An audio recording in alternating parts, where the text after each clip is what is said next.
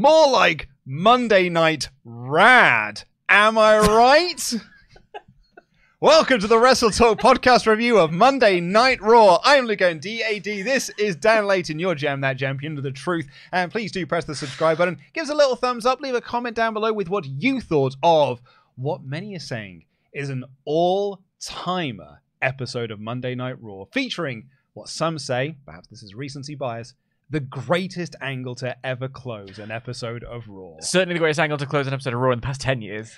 Like, that- that at the would- very least. At the very least, I would say it's probably the best angle to close out Raw in a good 15 years. yeah, I mean, it was a, a brilliant, brilliant piece of drama and a exercise in restraint. I said on Twitter that I'm going to use that word an awful lot. Mm. Um, this this episode because when you go into writing anything, when you produce a show, when you do anything, when it a bit of drama, you you're looking for this result. You you want to tease things, have discipline, not give away the goose too soon, to ultimately lead to a bit of you know intense drama right at the end. There, I thought this was this was a brilliant episode of television. Not only was it a great ending segment, Dan, it also just once again proved me right.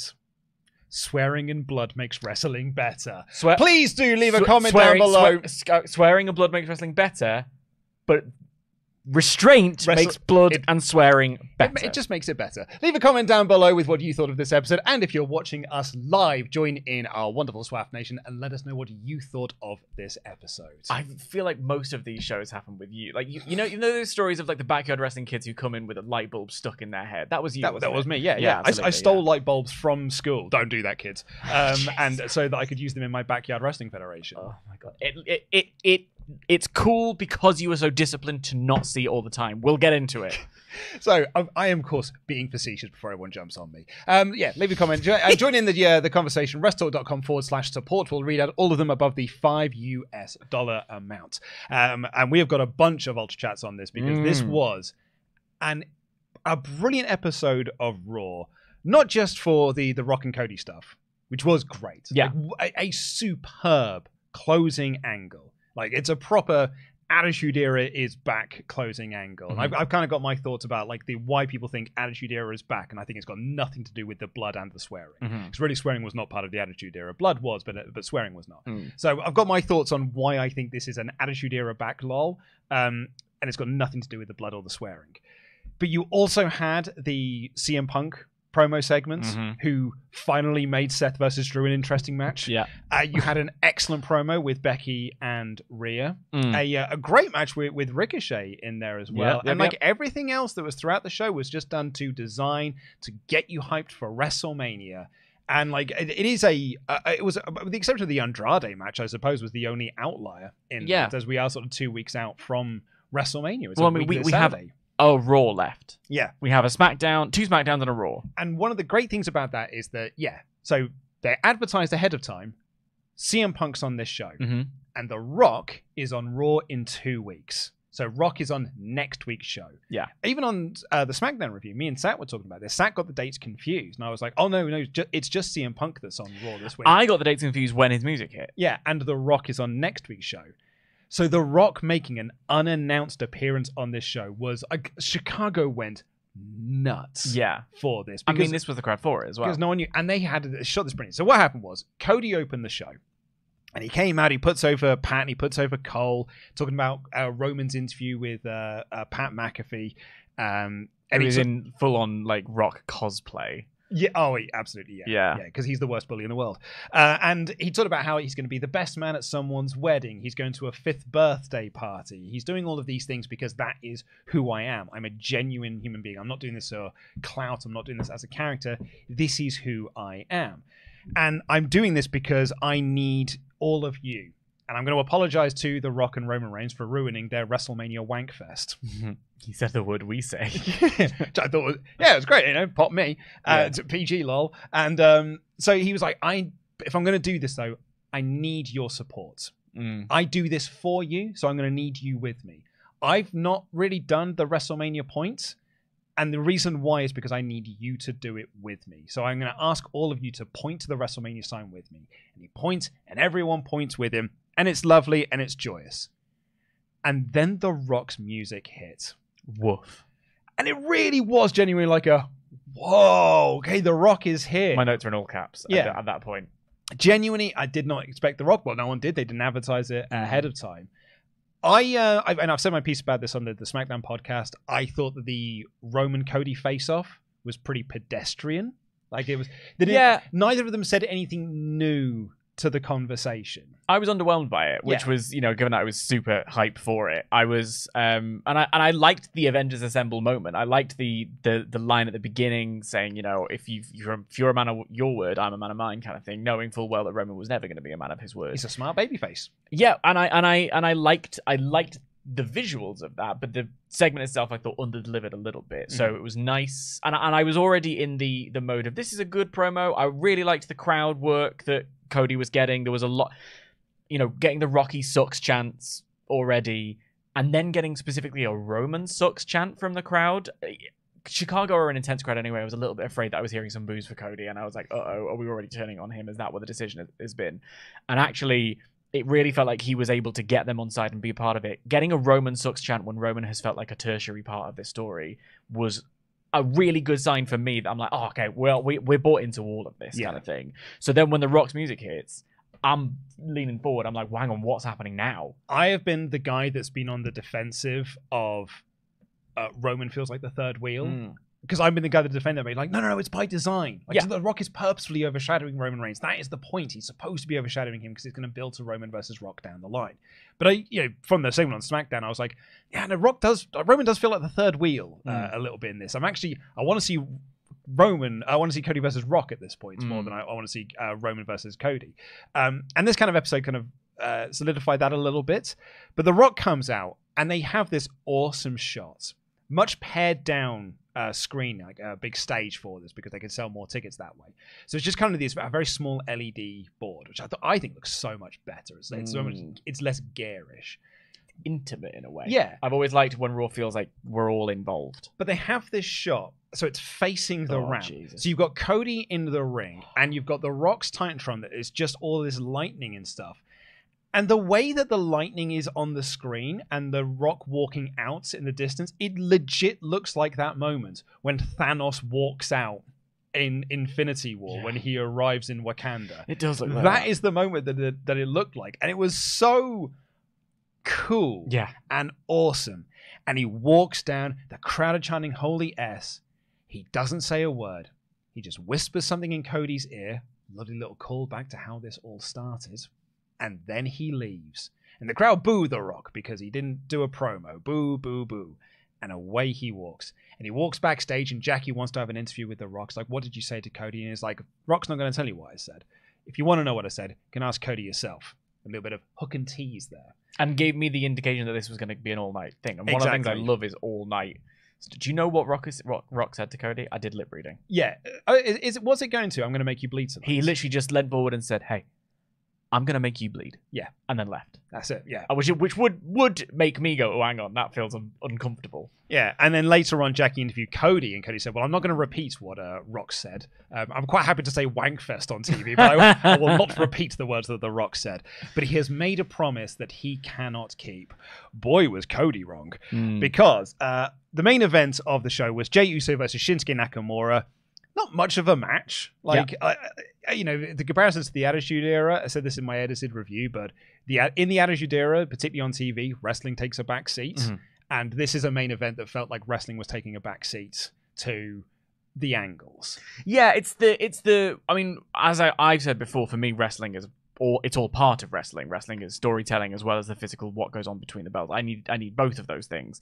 But in terms of television narrative, when it gets to a big show, the wrestling is the main focus. It's, it, all roads have led to here.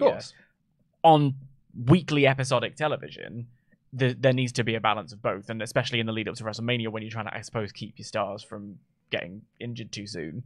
Um, the storylines take the the step forward, Uh, the, the front yeah. seat. I, I, I took a, a, a few shots last week because I said I wanted wrestling on my wrestling show, Mm. which I, I stand by. My point on that was that I like a balance because last week was very promo heavy and the wrestling just took a, a far of a back seat. This week you got a great match with Ricochet, so Yeah. that's kind of like that's your wrestling fill. I thought SmackDown did a really good job of balancing it Mhm. because like okay, we're gonna have a twenty minute uh, Roman Cody segment at the end, so let's just stack the first hour twenty with wrestling.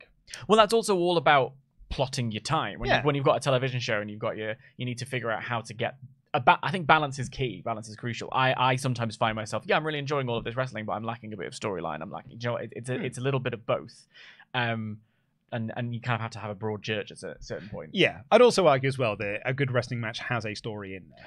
And Yeah, that, that, yeah. that, that, that is part and parcel of, But of, that's a, of a you- wrestling you know event. you know that's not what I'm saying. Yeah, I know. I, know. So, I, wasn't yeah. saying that's what you were saying. It was the argument. People was like wrestling doesn't draw. But anyway, so the wrestling here was it was totally fine, and Jey Uso got the win. Jimmy and Solo had come out during the match. Seth and Cody ran down and brawled with them. Drew McIntyre ran down and brawled with Seth, and Cody brawls to the back with Jimmy and Solo.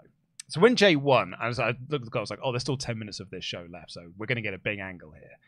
And Cody is brawling with them, and he gets attacked by the Rock from behind. Just great, the Rock getting physical. Like in- instantly, like number one, Rock's getting physical. That's awesome. Because previously, as you mentioned last week, this has only been two slaps. Mhm. That is all the physicality that this feud has had is just two slaps, which I love Restraint. is so Rock is there beating the tar out of him, and he's beating him up around like, and he it takes him outside, and it's pouring rain, beating him up in the rain, leaving him in puddles and stuff, and he's beating him, and he's cutting this promo the whole time, calling him boy, and talking like a kind Piece of of trash. Yeah. Like full rock. Yeah. Cutting a promo on his mum Mm. and being like, Mama Rhodes, this is your boy right here. This is your boy. Look what I'm doing to your boy. And he busts him open. And Cody comes up and he's got blood pouring down his face. And he looks like the big wounded hero. At one point, I thought he was going to throw him off like that. I did too. I thought they were going to do a big like crash mat below, and they were going to do the big like throwing off the edge of something, Yeah. like you know, like Money in the Bank 2020 Mhm. yeah, throw him off the air. There was a smaller ledge underneath. But they didn't. He just beat him up. He kept throwing him into his American Nightmare bus Mm. over and over again. And he then says, I made a promise to Mama Rhodes, and this is what's going to happen. Takes off his weight belt. It's got Mama Rhodes written on it. I said I was going to have your son's blood on this weight belt, and I was going to have your tears. And so he grabs his hand and he wipes his hand over Cody's face and smears the blood on his weight belt and says, This is what happens when you F with the final boss. Mm-hmm. Obviously, he did the full on swear, censoring up and down this show because obviously Cody's doing swearing, Punk's doing That swearing. seven second delay really helped. Yeah, and Yeah. then The Rock's doing swearing. And his final line was, It didn't have to be this way. Now it's the only way. I thought this was a great angle to end off this show. That really did sort of feel like a response to how pedestrian SmackDown was. Mm. Because this, like, kicked this into a whole nother gear. Yeah, I mean, this is the the crucial. Uh, th- uh, next week is the go home episode of Raw before WrestleMania. We are in the final stretch here. Like this is where they need to. We've I've sort of mentioned a lot. There's time for things to heat up, and I thought elsewhere on the show other things were heating up. Developments really started to to lean. Uh, Tammy and Chad is what I'm thinking of. Um, that really sort like interested me. We're in the final stretch. This is where they need to take full advantage and make these moments hit, to so that we're frothing at the mouth to buy this show. And this was something that I think achieved that spectacularly. And it really was all about the uh, aura, I suppose, of it, the the atmosphere, the the rain, which was making Cody's sharp suit just drenched. He was absolutely drenched, and yet weirdly, it looked like the Rock was impervious to the rain. It didn't Yeah. look like he didn't even get a drop on him, which gave its own sort of little en- enigma to it. Uh, the yeah, the feeling like he's maybe going to scrape his head across the. Um, I had unfortunately seen Cody bloody, so I knew this was coming, but I didn't know how or where it was going to go down. Would I have loved for Cody's head to go through a window on the bus? Yes, I absolutely would have. I think that would have taken it over the the hurdle for With me. real glass? hey, I mean, Punk was there. So Crimea River. Maybe don't wanna do Um, that. but yeah, I, I did something like that just to make make it that extra little bit vicious. Um, but uh, but even so, the sight of blood on Raw going through the blonde, which was always the Ric Flair thing, you know, I think it's such a uh, a striking visual. Uh, the the Rock trash talking. Throwing and launching trash cans at him, Mhm. just, just as you said, the Rock getting physical. It really was this exercise in restraint because if you don't show me blood every single week. If you don't show me blood every single month, like it's it's rare to see blood on Raw, specifically That one never happens. in this. the- it's, sorry, yeah, on WWE program. Yeah. it's rare, and as a result, it hits harder. That shot of Cody's head in Rock's hands hit that little bit harder, him smearing the blood, maybe uncomfortable Mm. because it's not something that's used all the time. The the conversation about the rock and swearing has been absolutely fascinating to me because the idea that like I, I said this on one of our Patreon calls yesterday, but the I'm gonna I'm gonna do a swear mod mother I'm warning you now. But the idea that the word fuck is what's gonna get Carrie and crossover, no no, because if you if you if you're a a, a a level drama student who's learned that you can suddenly swear all the time and you put it in every single one of your drama pieces, the temptation is there because it makes you seem edgy and adult and whatever. But we don't hear it all the time. We don't hear curse words. We don't hear that level of aggressive language so that when we do hear it the rock's foul mouth is that much more effective it's all that we hadn't seen anything other than a slap you know a slap from each of them they they're they're one apiece. So when the rock comes out of nowhere and i heard his rock punch noise Mhm. i was like oh my god we're, we're in the like I'm, I'm watching already a dynamic brawl backstage between cody and solo and there's a match i want to see again. But suddenly the rock's here and the rock is part of this beatdown? Oh my god like and you know we've seen the rock do a rock bottom on on jinder but we haven't seen hollywood rock get physical in 21 years.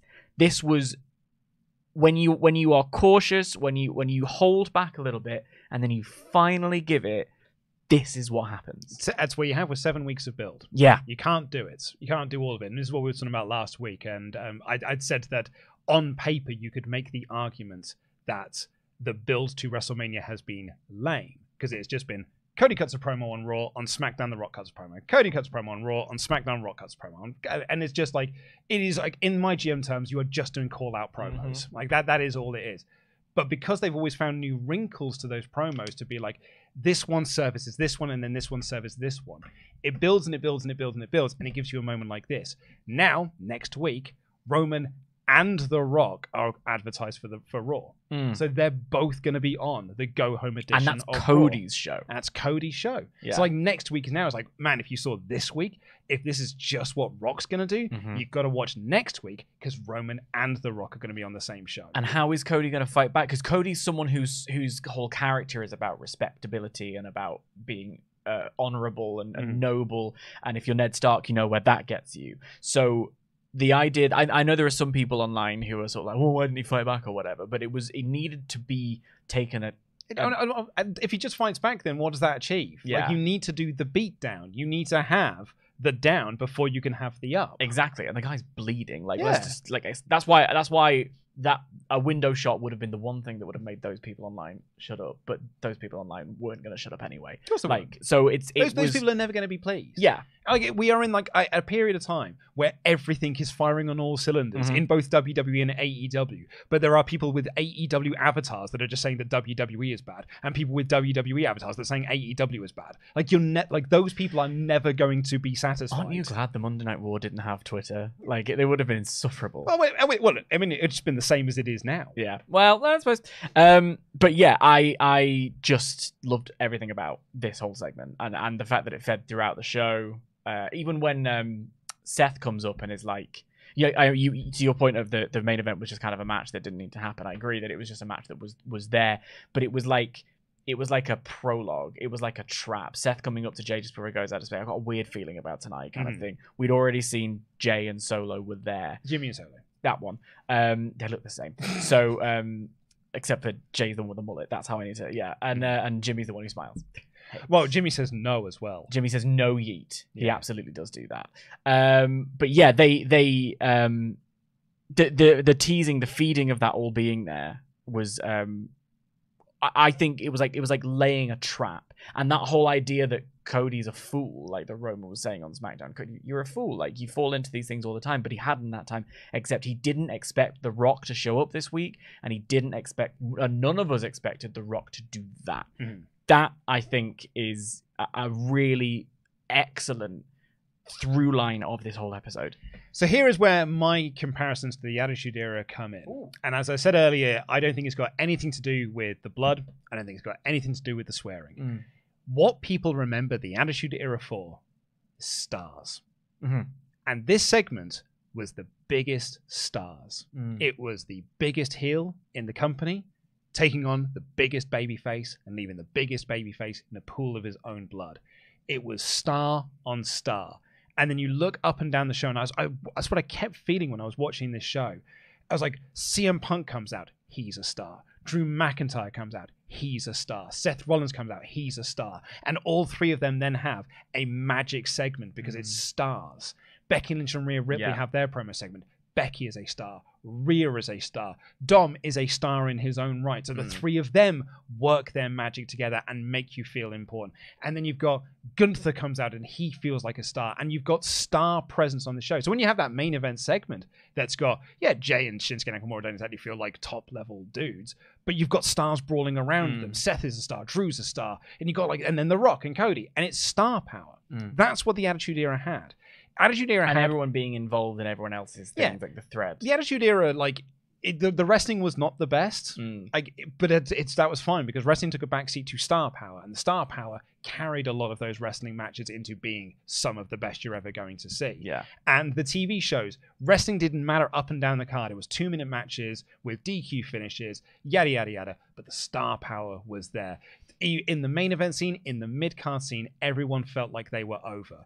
And WWE at the moment, everyone feels over. Mm. And that's why I feel that this is the Attitude Era back. Mhm. It's that's the vibe. And we haven't had and it's why Attitude Era stands head and shoulders above Ruthless Aggression and PG and reality eras. Because no one really felt like they were stars. There were a couple of people. John Cena was a star. yeah. But Evan Bourne and like you, you could run up and down the card like in- Yeah. in, 2014. Everyone is just down here and then there's Cena up here. Mm. Everyone now just feels hugely over. Mm. And that's why it feels like the Attitude Era to me. And that's why this felt like an Attitude Era closing to a show because it just had the star power. Mm, I think it's very well put. I Oh, completely agree. Yeah, it's it's it's all about um, d- making your audience want to see, making them want to know what's going to happen next. The idea that, as I say, the through line narrative. For so long, I felt like Raw in particular, but all WWE television Mm. really has been. I'm here now. I've had my segment. I'm not on television again. I'm Yeah. here now. I have my mine, and that everyone everyone has the little Ziploc bag. It's like meal prep for a Mhm. television show. Everyone has their separate like buckets that they get to sit in, and then they get pulled out to be played with. Here, the idea that all of these things are coming into one, that the bloodline is this threat that covers the whole thing, the idea that The Rock is someone who sits on the board of directors, the idea that um, Seth is an, also a world champion but cares just as much about that other belt meaning something because that makes his belt mean something, kind of thing. The you know his internal logic, whether or not you agree with it, like one one agrees with it to be clear. Um, but uh, it, it it all mattering, it all matters, and Yeah. it, it matters to the people who are at the top, who I'm supposed to buy into. Yeah, the other argument that, you know, we kind of touched upon this earlier of um, this just feels like I want to see uh, Rock versus Cody. Mm-hmm. Well, we're seeing that. Yeah, yeah, yeah. That's happening at WrestleMania. It's not like that match is not happening. No. We are seeing Rock versus Cody at WrestleMania. Mhm. This is all there to build that tag match. And that tag match is then used to build Roman versus Cody. Granted, I agree wholeheartedly that I think that they need to do more to heat up Roman versus Cody. Because Mm. at the moment, that does not feel like the most important match at WrestleMania when it should do. What it Cody winning the belt feels like the most important thing at WrestleMania.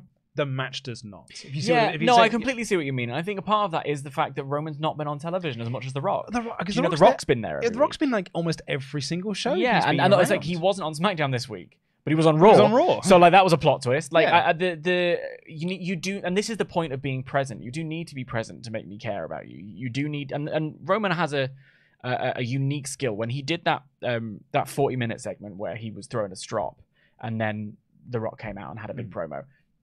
It's he was doing some incredible work. Like he'd maybe phoned it in a little bit. I felt during the Crown Jewel build or during the even the Rumble build.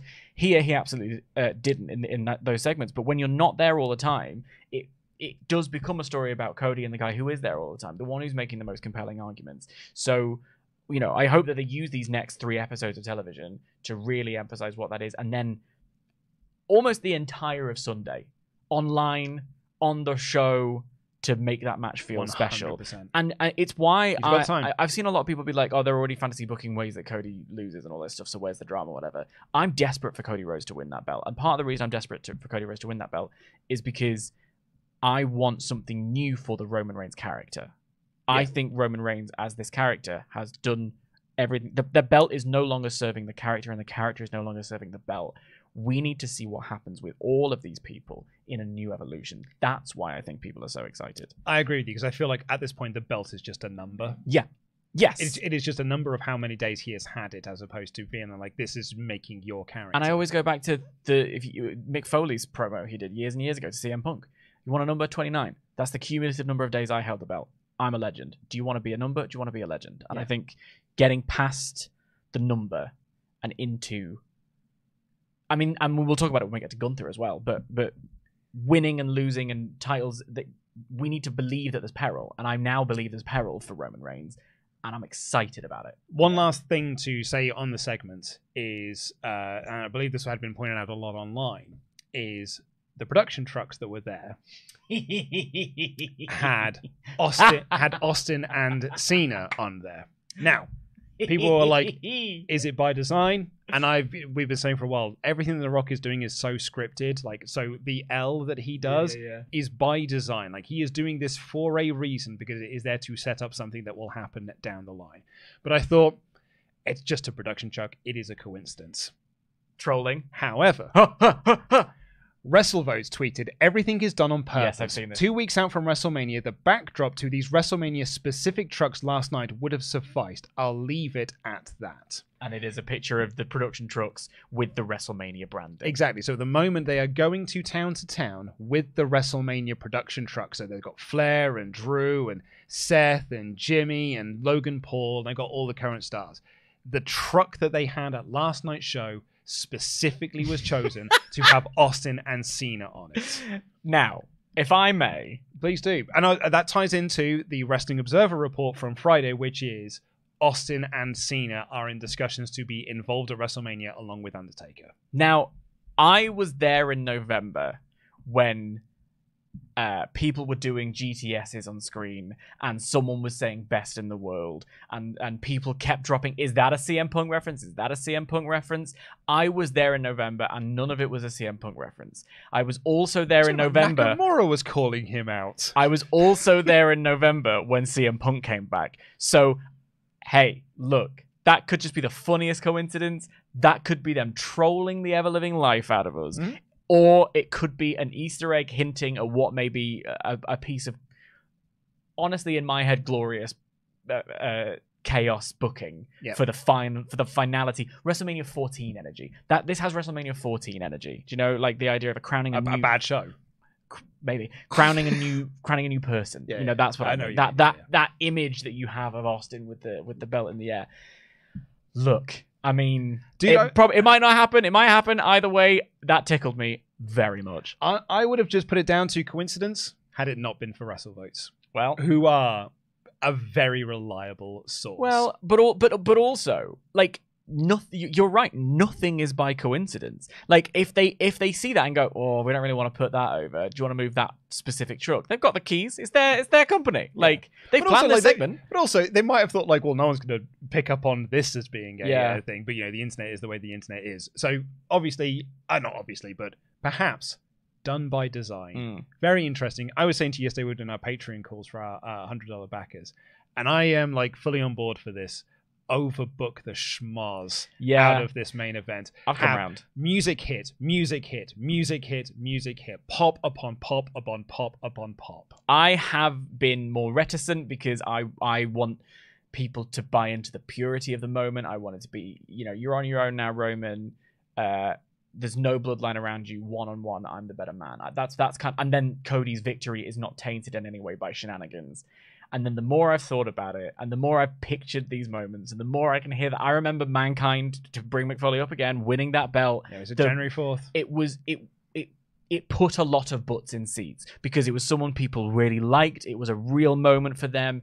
The glass smashing. It was all the stars. DX were around the ring. The Rock's there. The Corporation. corporation. Oh, do you know what? Sod it. It's like you know, there's like 20 people like in that moment. Look, as long as nobody. I mean, maybe someone can hit Roman. I don't know. It's wrestling. It's Well, WWE. It's like, he's like you do a double down and then you just do pop, pop, pop, pop, pop. Oh my music God. hits, music hits, music hits. Everyone comes down, everyone does their spots, everyone brawls away, and you're just left with Cody and Roman. I mean, it could just be. It, uh, it could. It has the potential to be something magic that will live on for literally the rest of our lives. Yeah. It also has the potential to be so underwhelming. So I can't. I don't want to. I, am tempering it, my own expectations when I say that. Yeah. Uh, well, let's get into your ultra chats on this subject. We have got a bunch of these because people are very, very excited about Almost this like episode big show. and this angle in particular. Bag. Forward slash support. Ben here said, as great as it was, it truly was. Who the hell is main eventing night two? Cody versus, oh, what was his name? Luther Reigns or something? Hey, Rock, should we build Roman versus Cody? Nah, not to work for me, brother. As a result, I could not give a two craps about him. Main event, main event night one, Cody versus Rock. Uh, oh, uh, mid card champion and Rock's cousin. I guess they'll be there too.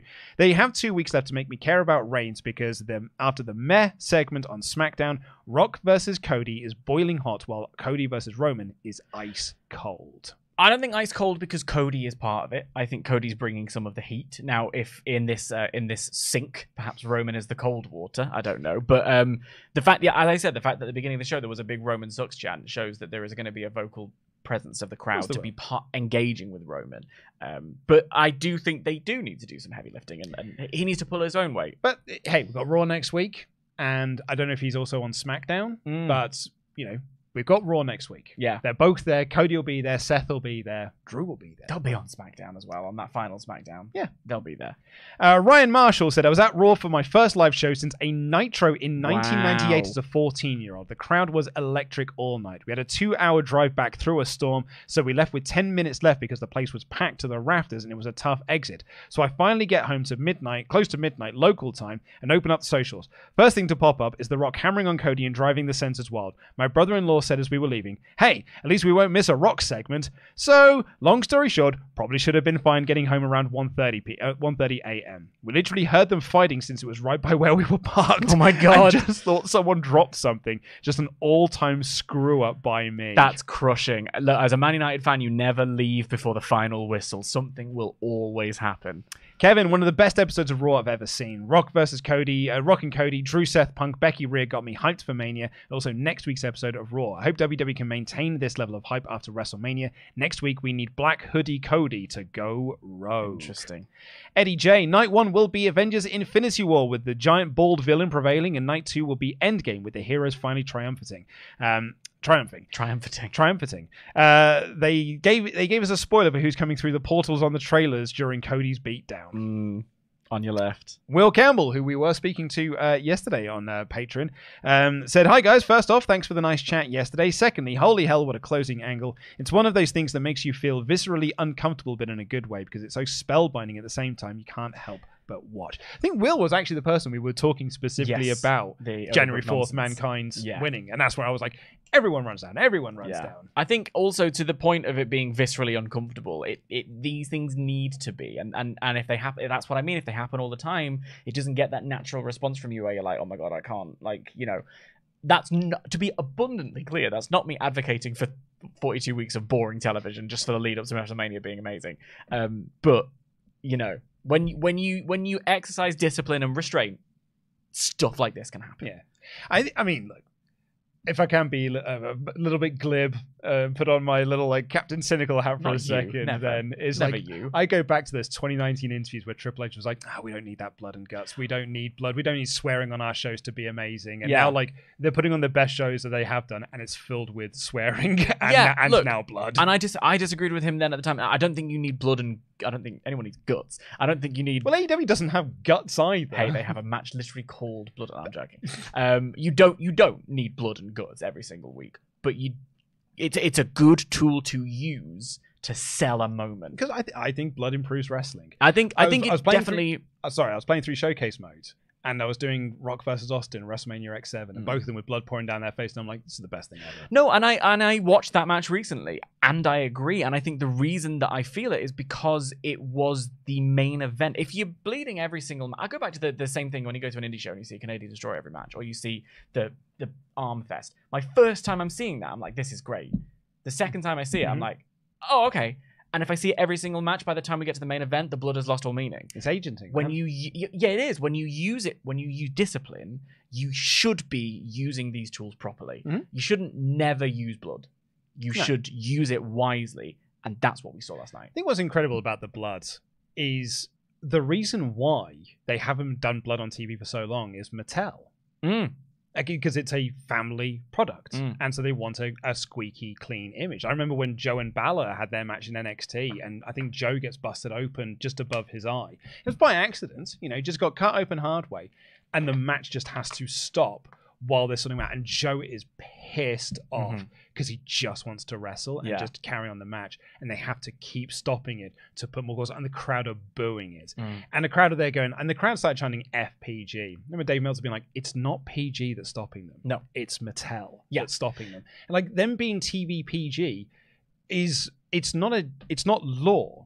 It is guidance for your Yeah. viewers. You can do whatever They're you on want. at 11 p.m. You can do whatever you want as a TV PG thing. Mm. You just then have to deal with the repercussions that you have told your audience this is TV PG Mhm. and you've done something that's TVMA. Mhm. Also, it's it's it, it is just a case of uh, corporate people, you know, wringing their hands and not necessarily getting what the people that they like. Go and read Mick Foley's Foley is good. Like, go and read that entire chapter about the PTC and and the hypocrisy of it all. Like what you will, see yeah. on a random episode of like the NFL, even or what you see. It's a sport. It's a contact sport. It's a contact sport. It's Yeah. why, it's why uh, Right Censor are one of the greatest factions in WWE history.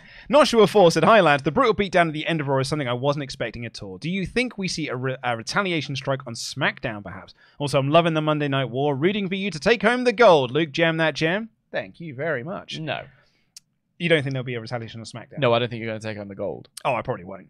Um, Jinder's 30k ball outs. Speaking of the Monday Night War, uh, big fan of you guys and all your hard work. The placement of the Cena Austin trailer seems like foreshadowing the coincidence, or maybe I'm trying hard to manifest it into existence. Just saying.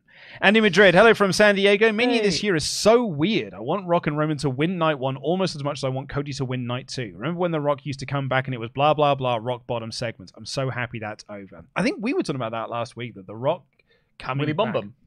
yeah, it was just like it would. I mean, we don't even have to look back that far. Nope. It happened uh, on first of Happened Jan- January. Yeah, literally this year. it literally happened this year. Yeah. We had what happens when The Rock comes back. Yeah. which is boring babyface promos. Yay, America! yeah. Beat up a foreign heel mid card. Mm. Uh, Geek of Arabia, Jesus effing Christ, that was Attitude Era feel I was missing. Sure, it wasn't 10 times over their head with a chair brutal, but it's the vibes that I wanted from heel rock. Actually don't want 10 times over the head with a chair brutal, even though. Um, you know, it was a good time, though. Punk, Drew, and Seth going back and forth. That was quite fun. We will get to that in a little bit. Edgar Carrasco has been in Benbug for 27 months in a row. Said the episode was amazing. Three hours flew by. Couldn't unglue my eyes from the final segment. I felt like I did back in the Attitude Era. Cody must win. Lobby Warsaw, the show was great. My biggest talking point from this Raw was that Roman is the weakest link in the feud. I'm even more interested in Seth's part. Cody's promo sold the solo match better alone than he did with Roman. Mm. Liam Leonard, who's been a member for 31 months in a row. It's his birthday as well. Uh, Ah. it's nice to see when these non PG segments happen uh, rarely so it doesn't become overused. Going to enjoy my birthday today to rewatch this a hundred times. Moose said, This felt a lot like a go home show. Now I'm wondering. Um, how Triple H is going to follow up with next week's Raw and next week's SmackDown. It just sucks with these big shows. Uh, it just sh- it just sucks when these big shows decide that when you need to find time, they do it by cutting down the women's match. We'll talk about that. Oh yeah. Baxter, in the SmackDown review comments, I said that Cody needed to find a way to get under Roman's skin. So that for the literal for the go home show Raw, Roman attacks Cody. I no longer think it is needed after what Rock did. Literally, bloody hell, awesome closer to the show. I definitely think you want you need to see. I would love them to go off the air brawling on on that final Friday. It's what you want. I yeah, and, I, and in my head is JR's voice. Obviously, it, it quite legally can't be this time, but literally was never going to be. But like the idea of them fully having a brawl off the. I, I also it's the disheveled nature. Of it. That's what I you know my I think I said this on After Dark. My favorite match with one of my favorite matches ever is is Bayley and Sasha, and the reason that the um, Takeover one uh, in Brooklyn supersedes the the uh, follow up, the Iron Woman match, is because at the end of it, she's holding that belt and she's won it, and she's disheveled and her hair's all over the place, and Mm. she's just like, you know, that's what I imagine when I imagine a wrestler winning a championship. Yeah. it feeling like I have scaled to the top of this mountain, and I think I, I'm and seeing Cody bloody last night showed me that. Do you know what I mean? Yeah. It's like I I got I, I wanted to bleed like mad on that Sunday. Oh, It's uh, it's my favorite WWE match of all time. Mhm. Uh, Bayley versus Banks. Outside of the, the hardcore triple threat, of course. Um, What, Justin, with Big Show and Raven. yeah, like that's the that's my favorite WWE match of all time. Oh, I thought you were doing a bit because it was Raven, but you mean that literally? yeah, yeah, Great. Yeah, it's my it's my favorite WWE match of all time. Perfect. And second to that, and probably maybe actually above it, I did say to Bayley that it was, is Bayley Banks at Brooklyn. Justin here said, excited to send my first Ultra Chat. Could Rock's beatdown of Cody create some tension between Roman and The Rock? Roman doesn't like it when Blood members deviate from his plan. Seemed on SmackDown, Roman was going for more uh, a more psychological warfare. I definitely think the way you keep this going is to give Roman step to the rock. You remember when he hit the hand? Mhm. Oh, another one of those, please. Jonathan Cantres has been a member for six months in a row. Did you guys notice the truck in the background with Cena and Austin? A tease of what's to come, maybe. Rock's old rivals coming uh, to help Cody on night two. Will Banter here said, Can Cody respond to Rock's attack? Does Drew care more about CM Punk than the world title? Did the Tribal Chief approve the beatdown in Chi Town? Or did The Rock make the call? Find out on the next episode of Dragon Ball Z! RIP Toriyama. Um, yeah, I mean, I'll get to the Drew thing later, but that was actually one of my favorite things on this show. Uh, Jambeard said, Been a while since I've ultra chatted in live. I watched a lot of the clips on social media from Raw, and I did enjoy them, but I still find it hard to get back and watch WWE TV. I'm enjoying the pay per views, but I haven't watched TV in about two years. Prediction for Mania is that Cody pins Rock in the tag match because Roman accidentally spears Rock. Rock then costs Roman his title to set up the Tribal Chief match for the next Saudi pay per view between Rock and Roman. I'm very much on the train of uh, Bloodline win night one to set up Blood. I think the given the stipulation of Bloodline rules for night two, Yeah. I feel like they have to win. I, I am too, but I like the fact that I can see an argument like that and go, yeah, that sounds alright. Like that's a Mhm. that's a nice thing to have, um, and we have it elsewhere in the show as well when Yeah. we get to Sami and Chad. Uh, Dopey Koala So, "What are your thoughts on the possibility of Tama Tonga debuting at WrestleMania? If he did, how would you see him getting involved, whether it be to help Roman or Cody?" I, no disrespect to Tama Tonga, I don't think you you don't do a big WrestleMania debut Yeah. for Tama Tonga I agree because like he's not got the name value you would have for Cody Rhodes Mm. coming back, or if you if you debuted Kazuchika Okada. Like, yeah, you you need that name value for it to be a WrestleMania surprise. I Tama Tonga, no disrespect to him, but, but would just have a lot of, huh? it would also feel like he would debut, and if he's, if he was on the part of Roman or the part of Cody, that that's a that's a Raw after Mania or a next phase I of the story, the next inning.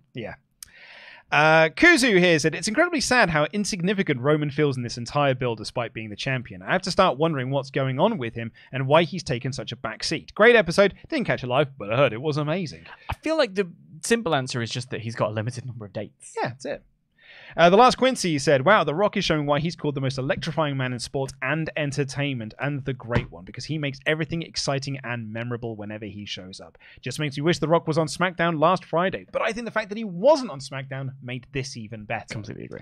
Um, absence can make the heart grow fonder. I think, And it was a surprise. But, but Roman has taken that to the nth degree.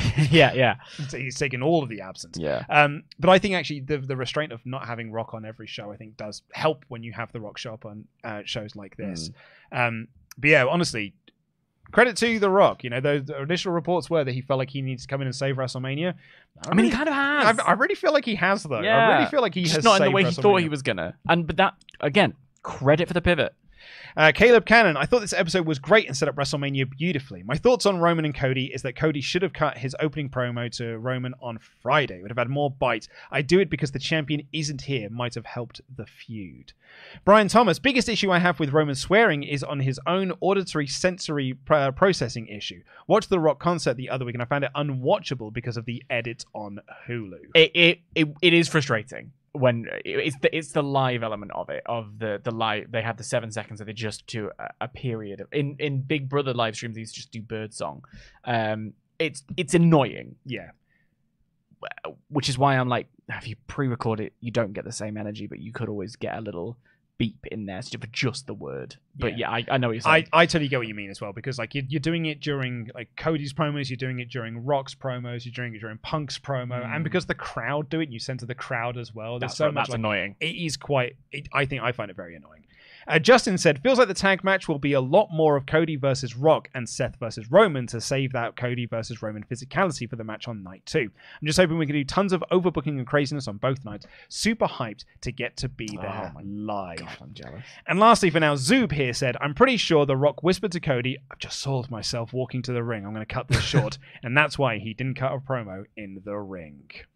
Well, uh, we'll have more from your Ultra Chats later on, but we have got uh, more of this episode of Raw to get into, which we're going to do right now. Um, Michael Cole buried Pat for dressing like the Bloodline. And then we got Jackie interviewing The Rock. And then we had the Judgment Day in their Judgment Den, where they were basically there to have a go at JD McDonagh to do better. And they putting it all on him to beat Ricochet this week.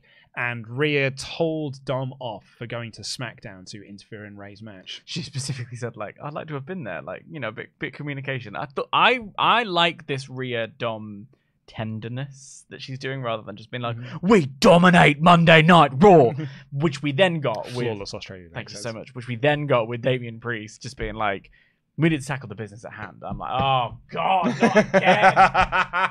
like, come on. What else do you want from the Judgment Day? This is what they do. Uh, it, it is what they do. they handle business. I can't wait for Judgment Day oh. 3.0. we did have Ricochet versus JD McDonagh. Um, this match was, I mean, it was way better than it needed to be. yeah. I, and it was kind of there to be an advert for.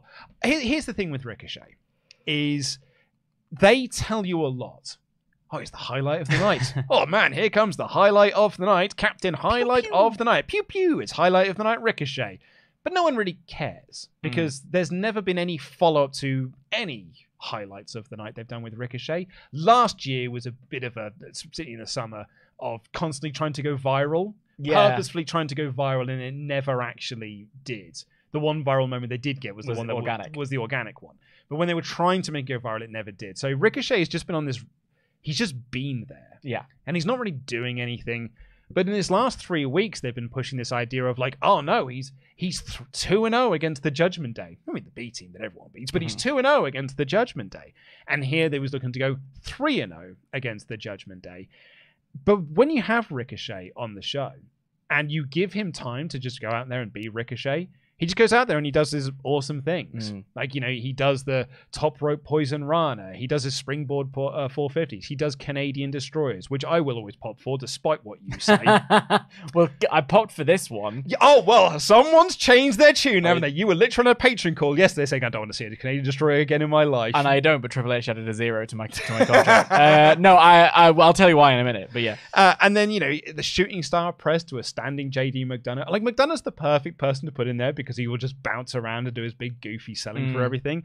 And you know they the commentary commentary in particular were going nuts for this match. At one point, Pat McAfee said it's a six star match, which you know, pump the brakes a little bit there, Pat. But this was like dead good. yeah. I mean, and and the not to that point, the nonsense Pat telestrator thing worked for me in this match because it just felt like he was like on that pure adrenaline high, being like, "This was so cool! Look at this! Look." This match was great. Like the the, it was really fun. All the ma- all the moves were really good. The Canadian destroyer was cool. It felt different to other Canadian destroyers, and it came out of nowhere. And again, when you use things sparingly, like this is another one of restraint. When you use things like that sparingly, they have more impact than if you're just doing a Canadian destroyer, Canadian destroyer, standing up, no selling, all the rest of it. Um, I think this is a really great example to illustrate the point that we were making at the beginning about like the balance between storytelling and wrestling. I think the reason Ricochet's not really got over is because they haven't been able to do this as much. Right, hasn't been able to just go out there and have a good match. Yeah. just go out there and do your thing. He hasn't had a story since Logan Paul. Yeah. and even then there was not much of a story. So they need to inject that story back into it so that it's not just a random spot fest. I liked the random spot fest. I enjoyed it very much. But it is one of those things where I do dink on on uh, AEW and I'm an equal opportunity dinker uh, for having a like Canadian Destroyer Fest or having just, just a match with some big spots that don't that make me go whoa but don't make me feel anything. Mhm. You know, I don't really feel anything for JD McDonagh or Ricochet. So inject a little bit more of that emotion in there. And this kind of match, more of this kind of match on Raw, will probably find that balance between the storyline and the wrestling that we all like. Yeah, I think. Well, I think one of Triple H's great flaws is following up on momentum. Yes, Um, agreed. so I, I hope that this is one of those ones where let's get some momentum going and let's Mm. build to something with Yeah. it, as opposed to what I imagine will happen, which is he'll just won't be on TV for a little while. Yeah. Then we had our 20 minute huge in ring promo segment that was. I mean, you know, you mentioned AEW. This was more AEW than it was a WWE promo segment Uh-huh. because this didn't feel like it had a script to it whatsoever. Mm. I have seen a lot of people say that this was a train wreck Oh of my God, a it was a hot segment mess. Because it was just everyone talking over everyone and everyone feeling like I've got to get my line in, I've got to get my line in. but it felt so much more natural because of that. And it was a bit of a hot mess, but it was a captivating hot mess. And CM Punk was the star of it all, Mhm. with Drew McIntyre being fabulous. Drew in all of McIntyre was exceptional in this segment because, and it's that example of you know he's uh, yet another bit for the scrapbook of Drew McIntyre has just gone onto a whole other level this year. So Punk came out to say that uh, he will be at Mania. He's not medically cleared, but he goes down on his wife, so he will be able to to use his mouth at WrestleMania. Carry on, move on as quickly as possible. You want to, to move on from this? specifically don't. I don't want my dad to start talking to me about What going going down on Tuna Town? Get, on, get on with it. Get on with it. About Taco Go forward. Go forward. Is he trying to rattle through how many other Bloodhound Gang references Stop can it! I think Stop of it! in my head? um. Anyway, uh, so yeah, he made a reference to Cunnilingus uh, in all of this because the Attitude Era is back, everyone. Not the ones. Not the theme. Not Edge's theme. Just to be clear, the other thing. Um anyway so he's like hey i could do uh i could do commentary i could be a guest referee he made references to uh, he likes jim cornette's podcasts because they Went both right over my head. I didn't notice they that. both hate aew um he teases a match with roman he teases a match with rollins he kind of takes a shot at the rock bringing back his one of my favorite punk promos Mhm. ever of you're going to find that your arms are too short to box with god Right in the love right in the camera. Yeah, and he, you can see him pointing to the camera as well. He's like, "Come closer, come closer, come closer," because this is my one of my favorite lines I've ever done. And he then says, "I don't live on the internet." Lol. Yeah, Big liar. Sure, Jan. Uh, and out comes Drew McIntyre, and Punk's like, "Stop the silly music! Stop the silly music! I don't want to, don't want to hear this music. This music's stupid." It's wrong. It's a banger. I love that music. And he challenges Drew to get into the ring, or are you just a guy wearing a skirt? And Drew is like, "Oh, watch out, buddy! You might say, get yourself cancelled for talk like that. You don't want to be a homophobe now." And uh, Punk was like, hmm, "Yeah, he's got a point there." Uh, and Drew has this awesome line where he's like, "Punk, you don't drink or do drugs," which is funny because you spend an awful lot of time in rehab. Oh, what a line. Great, great line. Does the punk sit down? Tells the cameraman out to film him again, you big perv. And then he like Punk just kept talking over everything he was saying to get in the ring and like trying to- and he was like Drew then was like, I'm not gonna get in the ring, I'm not an idiot. You'll just attack me with a weapon. I know you've got one. And then he says, like, what you forget, Punk, is that I was the chosen one around here. And he starts talking about this. And then Punk talks over him and was like, Who gave you that nickname? I dare you, I dare you to say who gave you that nickname. Oh God. And Drew doesn't, Yeah. which I think was probably a wise move. Um, and he says that Punk would be a, a great guest commentator out here because then he can be ringside to see me live out his dream Mm. from the best seat that he possibly can. Um, and the referee start chanting for him to be the referee. Rollins comes out at this point as well, and he's like, "Hey, you guys don't get to make decisions about a world title match, particularly when you're not even involved in it. And I don't think you can be the referee because your arm's busted." So Punk again, just off off ad libbing, just drops down. He's just like, "Yeah, I can do it. I've got another hand. I've got another hand. I can do it." Although I don't think I'd be impartial but with you two dipshits. Yeah, And that he- line was good. And he and he proper giggled to himself because he was like, "Ah, I'm just having fun now." Well, that was it because there was a moment where it felt like I was like, "Well, you're just undermining what Seth has said." But then when you point out, "No, I could do it, but I would suck at that," it's like Yeah. that's that's bringing it back to balance. Yeah, I still think it undermines Seth a, a- a- Oh, somewhat. yeah. yeah, yeah. But but The whole thing But, undermined. but yeah, oh, Yeah. oh, that's the thing. Is like this segment really undermined this world title match. But apart from one moment, which I'll, I'll get to in a moment, because Punk then said, "Honestly, you need me for this. You need me to have a WrestleMania moment because without me, this match does not mean a, a great deal." So do you know what? I will go and do commentary, and I'm going to do something that neither of you two can do. I'm going to make you feel important mm. And I, I'm going to make you feel interesting. And he's like, you know, punk out, drops the microphone, his music starts playing. And this is where I all the other stuff is great. You know, punk making his reference to, to going down, uh, you know, uh, the Drew's line, some of Seth's stuff, all of that was lovely. All the talking over each other stuff was very, very fun. Like punk just having a laugh, that's all very good. But here is where I think the killer moment of this segment is. For weeks, Drew has been having a go at Seth for not focusing on this world title match and being focused on the bloodline. You need to be paying attention to me. I'm the threat to your world title. You need to be focused on me. And in this segment, Drew gets so angry at CM Punk ending that he storms into the ring and starts yelling at production to cut his music. He can't have the final word in this segment. I'm going to have the final word in this segment. He takes his eye off of Seth Rollins. Seth super kicks him and lays him out with a stomp. I thought that was a wonderful, excellent bit of storytelling to what is actually the, what this segment was designed to do. I thought it was wonderful for that. All the other, the, the 19 and a half minutes Mm. that came before it were joyously entertaining. That for me was the best bit of the segment. Yeah, I mean, we said last week that I'm more interested in their individual programs aren't with each other than I am with Seth versus Drew. Yeah. And this was a really nice way of bringing those things together and reminding us that it is a, a unified thing. Um, I have to put aside my thing about like I really, I really hate it when people talk over each other. I really hate it's improv, and in improv, everyone wants to get the line in, and everyone wants to be the one to have the laugh. And I've got a good joke, I'm going to say it, and it starts to feel like a mess. From a performer perspective, I hate that. That re- you need to know when to to step back, but also it added something else to the segment as well. So I need to I need to check that part of me and and see recognize this segment for what it was, which was just chaos, beautiful, messy chaos. Uh, I thought Drew, I really Drew Drew's line about "You're my muse" was so yeah, like the idea that I I get off on the damage that I'm causing you internally. Yeah. that I, that's what drives me. Loved that. Loved, as you say, the the closing part where um, McIntyre's story really has been him learning to not have patience and just lean in and just do it and just take advantage of things. Um, and there he did it. Yeah. Like you know, and it, and it, and it came back to bite him again. Will that be? Is that a precursor to Seth retaining? Is that McIntyre? Um, I'm not going to make that mistake again because I did it. I've, I got distracted by Punk. Punk's going to be out there. Is McIntyre going to be distracted by Punk enough for Seth to be able to take advantage and retain? Is you know that? And and what's fascinating is I have thought, oh, McIntyre's winning for a long time, and now there's a flicker of doubt, which is ag- another example throughout this whole show of me not actually knowing how certain of these matches are going to turn out at WrestleMania.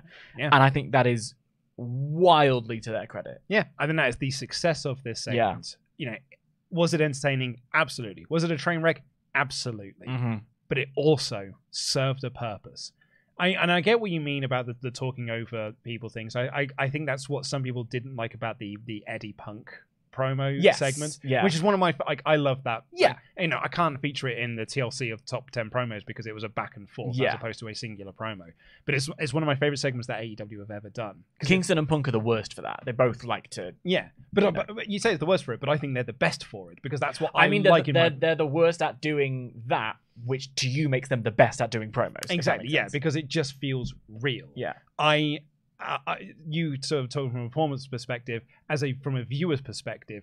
I hate you say your bid, then Yeah. I say my bid, and then you say your bid, then I say my Mm. bid. Because Again, I- there's a middle ground. there is absolutely there is a middle ground to that, and I don't think that this segment had that, and I don't think the Eddie Punk segment had that Mm. either. But I think there can be a middle ground. But I think like Copeland's been quite bad for that in AEW, where he, He has. has. he's not quite found the middle ground um, to that. He's got too much freedom. He's got too much freedom. Yeah. Um, but I I had a great time with this promo segment. It was spicy. It made me nervous. It's the magic again. It's all that magic, and I guess it's another example of that restraint. It's the, we, we don't get segments like this all the time, which make them feel even more intense when we get them. Yeah, Um, and I, look, I'm I'm sure I will I will take some some heat for this. This feud needed Punk. I no, I I agree. It, it, it, I I have enjoyed Seth and Drew separately. Yeah. this I'm- brought them together. That's it. Uh, I mean, and the only reason I, I think that this feud needed Punk is kind of based on the promo segment we had last week, Mm. which was a promo segment that was kind of like the, the Cody Roman one, which is, oh, you've added nothing new to this feud. This has added something new to this feud. Mhm. And you're right, like, is I've been interested in Drew winning and Seth taking on the bloodline. Now I'm interested in seeing Drew versus Seth with Punk on commentary. hmm Um, this is the moment where I pivot and put on my woke hat. So I will Oh, just I uh-oh. will just dink. Dan's woke rant. um, I'll just dink two tiny things, which is the skirt line. That's past it. We're past that. And also We're clearly not. though, I, I know. I know. When we aren't, but we should be. It's- Is it's- always my point. It's like the eighth time it's happened It's on just- the WWE show in the last three I just weeks. find it cringe, lads. I don't know what to tell you. And then he just went. He was like rattling off a list of things about Seth Rollins, and then went, "Your wife." And I'm like, we saw a more effective version of the meta we know about your family life thing in Becky's segment later on. I just don't care. Mhm. Like, oh, I know Becky Lynch is his wife. It doesn't do anything. It doesn't make me feel like, whoa. yeah, but she's a woman. she certainly is that. What are you, what are you going to do about that then? well, I mean, egg on my face. hey, you're married to a woman. What are you gay? it is that. That's what annoys me. What are, what are we doing? Oh Jesus! um, right. I mean, we might get a bit more of Dan's book rant because that segment clearly went long. Because Candice LeRae and Ivy Nile, I don't. I think they were always just going to have a, a two-minute match if there if it was that. But there were zero entrances and a rather heatless match. But Candice LeRae won. Uh, she, I thought actually this was set out quite nicely. Yeah. she was constantly distracting the referee to get Ivy to get Indy to cheat Mhm. and to attack Ivy Nile on the outside. But Indy Hartwell wasn't doing she it. doing it. So in the end, Candice faked a knee injury, and then she used that to get advantage. Sort of got her feet on the ropes, She was pushing the bottom rope to give her a bit more leverage. I kind of saw that. and and she won. And then she celebrated like she'd won a world title, while Indy Hartwell was a bit perplexed by the whole. Yeah, she was not. She was. Not, I, I, this was rather than what we've seen the past couple of weeks of Indy Hartwell, oblivious idiot. We got Indy Hartwell a little bit cross actually, and I was Mhm. like, that's a nice development for It Indy's is, yeah. character as well. Um, again, this feud is wrong. It's doing. it's being done in the wrong order. It's very peculiar to me. Um, I like it for them. But the selling of it is weird, and the selling of it is hampered massively when you look at your show and you think, what's the one thing really we can cut down? And it's this. I i if they're going to go out there and they're going to have a grand total of two minutes screen time, I get that there are some. There are always comments whenever we bring this up. By the way, this was the only women's match on the show. When we get, um, when we talk about this, and we get um, people being like, it should be a meritocracy. It's about the people who are most over. It's about the best. The people being the best should be there. Well, I'm afraid the world isn't a meritocracy. All right, that's not how it works. And also, if they're not given time to get it over, how are we supposed to care? So when you look at a scene like this, and we have had this uh, repeatedly over the past few weeks, The Rock goes long sometimes. Punk and Seth were going to go long sometimes. When that happens, and you then look at your run sheet and you're like, okay, well, where do we cut time? Their first thought is to go down to this one because they think this one is the least important on the whole show, and arguably it is the least important on the home show. My personal take is we didn't need that Andrade match later on. Uh, you disagree with that, and we'll talk about that when we get there. I, I, I wouldn't say it's a strong disagree. right, right, but, I, but don't, I don't even know if I have a strong feeling on it, but but if you're gonna, it- but if you're gonna look at it and say it's the least important, you're gonna cut time from it. The reason you think it's least important is because you, as the booker, have made it less important because you don't treat it with the importance you do with the other things on your show. It's all about balance. And when we're pushing for a little road to equality, you need to you need to counterbalance sometimes. No, you need to yeah. sorry, Andrade, I'm sacrificing your match and I'm sacrificing this particular week of your development. We're going to push it back one more week because we're trying to do something over here with this division. Ultimately, the book stops with the bookers. Yeah. Right? and development's a strong word there with the Andrade thing. Yes. No, completely. yeah. But like, I'm trying to get in there. Of course, absolutely, yeah. But like, this is the argument I was making about Tegan Nox when they were trying Mm. to like build Tegan Nox up, Yeah, and it was exactly. like we just, you know, she has thirty second matches, and it was like, well, care about her now. It's like, well, we're not going to care about her in in this short space of time. And then what happened when she had a title match? No one cared. DIY. DIY Johnny Gargano. yeah. It was like it, it took them much longer to do than it needed to to get them over on the main roster. Because they were just not using their time properly. yeah, and I think it's the same thing with Canada here. It is a lower mid card Yes. thing, so it It doesn't is. need 20 minutes of TV time, but I think it needed perhaps more than the two minutes. You're also doing something interesting with this character here. So at some point, it won't be a mid card thing. So invest the time here, and you'll be thankful for it later Mhm. on. That's yeah. We had DIY and New Day having an argument backstage about WrestleMania. Awesome Truth walked up to say they're going to be on commentary for their match, with Truth thinking that Pat McAfee is JBL. Then we had New Day versus DIY. Also, no entrances for this because things Time. Are, time and things have gone wrong. Uh, things have gone long, rather. And then Judgment Day came out and caused the DQ. Um, I was quite enjoying it up until that point. Mhm. But, oh, um, and it's gonna be fun at WrestleMania. but this is so this storyline, this WrestleMania tag storyline, has had a whopping twelve people added to it. Mhm. but the central core of it is still Judgment Day versus Awesome Truth. Mhm. And I think that is what it eventually will boil down to at WrestleMania. And that is what this segment boiled down to here. DIY and New Day didn't really matter a jot. Really, neither did The Miz. This is actually, it's less Judgment Day versus Awesome Truth. It's Judgment Day versus R Truth. Um, but it was R Truth was the one that sort of almost stood toward the end. He fought off all of uh, the Judgment Day, but Damian Priest was the one that laid him out. I really think I, I, sorry, I'm just going to boil that down again. It's less Judgment Day versus Awesome Truth, and it's actually Damian Priest versus R Truth. Yes, that's it. I think we need to split these tag belts up post haste because I think in an ideal world you have uh, Judgment Day versus Awesome Truth and then a six pack ladder match for the other belts like somewhere else. I think that the the show there are two women's belts, two mid card belts, two world title belts, one set of tag belts, and I think the show is suffering as a result of it. So um, maybe this is the this is the moment where it I happens, it's but happen. but yeah, I'm, I mean, look, I'm excited to watch the match, but my excitement to see R Truth win the tag belts has gone down a little bit. Yeah, I think that they've muddied it by adding so many tag teams. Yeah, it's it's changed the- the game. it, it has a little bit. It's kind of taken away the focus of what it was supposed to be, which was Judgment Day and in particular Damian Priest. I, if you know, if I'm going to give my wild prediction, I think Priest is walking out of WrestleMania as the world heavyweight champion. Um, either that or on the the Raw after Mania, the Ram. Um, Rad Ram. yeah, and you are going to do Priest versus Truth for the world title. Mm. Interesting. Yeah, maybe not on a pay per view, but main eventing an episode of Raw. Yeah. I don't. I don't know. I don't see it for Priest for a while. I. I, I don't. We I know don't we haven't got long left, bud. His, No, no, his no, no, no. contract expires soon. in in Mo- July. Money in the Bank, I should say. His contract expires in July. That's so there's th- still. three months away. Yeah, but I, I. I don't. I don't buy anything from him now. Well, no, but that's that's on the booking, I guess. Mm, exactly. Yeah. So like. Yeah. Cathy, who appeared, apparently was dressed as Electra, like that was a hell of an So, outfit that she was wearing was today. the red, and then she had. Yeah. I mean, she looked great. She looked, she looked great. It's just the way she stood up I was like, oh, Electra's here. Uh, she interviewed Gunther, who is all smiles, and Gunther said, "Yeah, I don't. I think Sami's words are empty. I don't think he can beat me. F- further to that, I don't think he beat Bronson Reed either. That was nice. Boy, was he right. Uh, Andrade then uh, beat Giovanni Vinci. This was supposed to be uh, versus Ivar, but Ivar could not be medically cleared. Uh, Fightful Select reporting it doesn't need to be anything serious. It's just going to be off, out of action for a couple of weeks. I think this is the one where I'm like, take this away because this was just a match to take place. Like they they slotted Ivar out and put Vinci in, and it made no difference to Yeah. what the match was going to be. I think this could wait a week. Look, the only straw man argument that I can provide to here as to why this is on the show is that without this, Andrade just has not been on TV. Yeah. Like that is the that's the only argument I can provide to have this match happen, Yeah, and it's not a good argument. yeah. Uh, we then had the Rhea Ripley and Becky Lynch promo segment. Rhea Ripley was, uh, you know, they kind of talked a little bit about the, the viral clip from uh, the weekend. You know the one. I do know the one.